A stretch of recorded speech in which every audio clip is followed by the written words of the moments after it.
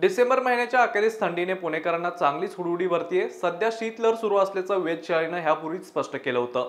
शीतलहरीच्या परिणामामुळे तापमानात घट होत आहे. जानेवारीमध्ये साधारण अशी स्थिती असेल पंधरा जानेवारीपर्यंत दहा ते अकरा सेल्सिअस पर्यंत तापमान राहील असा अंदाज पुणे वेधशाळेने वर्तवला आहे उत्तरी हवा जो नॉर्दर्ली कॉम्पोनेंट ऑफ विंड एवं औसत तापमान ए, औसत उसका स्पीड गति ये करीब आठ दस किलोमीटर प्रति घंटा.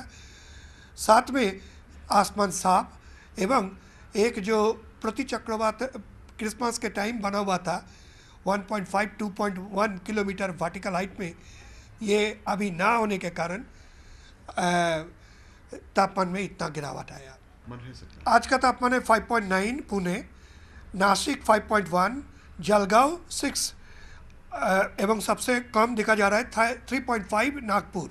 तो ये कंडीशन अभी जो है प्रदेश में उत्तरी, मध्य महाराष्ट्र के हिस्सा एवं विदर्भ।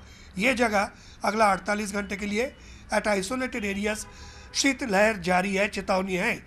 एवं यह स्थिति लग रहा है कि काल के बाद से थोड़ा सुधार आने का उम्मीद है। धीरे धीरे तापमान बढ़ेगा।